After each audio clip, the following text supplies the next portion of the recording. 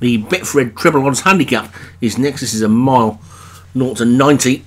And small field of just I think five or six for this. Uh, top we've got Lixian Pants for CDJ Liggett, Cairo Crusader for Padraig Hogan, Bazamarado, Daniel French, Californian Chancellor Martin Needham, Old England, Craig Beckwith, and Stylish Magdalena for Daniel French. So Daniel French has got two of the six runners.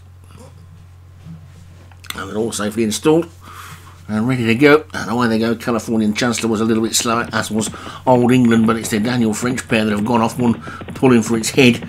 He's keen to lead, and that one's Bazimarado, stylish Magdalene on the inside, but now Cairo Crusader has come through, so it's the three in yellow that are to the four at the moment. Old England has moved up nicely after that slow start. Californian Chancellor, the grey, is going to get itself trapped on the inside as Lixian Pants is close up on its outside, but it's Cairo Crusader who leads them as they begin to swing into the home straight with Old England in second, Bazimarado is third, and then comes Stylish Magdalena back in fourth with Californian Chancellor and Lixian Pants making up the numbers at the back. So Cairo Crusader then has settled down nicely in front. Old England then looks to be going more for Craig Beckwith in second. Then the Daniel French pair are close up third and fourth. Bazimarado and Stylish Magdalena. These four are leaving Californian Chancellor and Lixian Pants behind just a little bit, but the leading pair have kicked on again now. Cairo Crusader and Old England.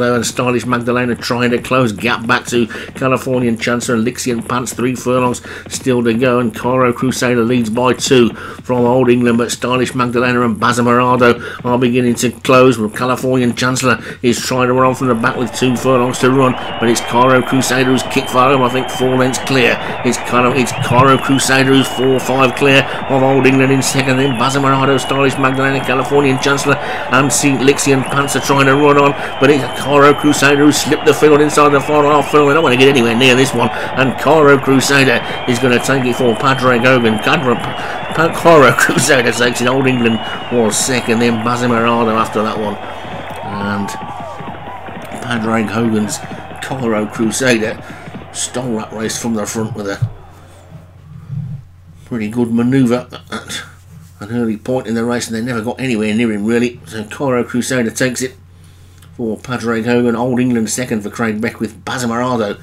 Daniel French was third, also took fourth with Stylish Magdalena. And Lixian Pants for CDJ Liggett was fifth.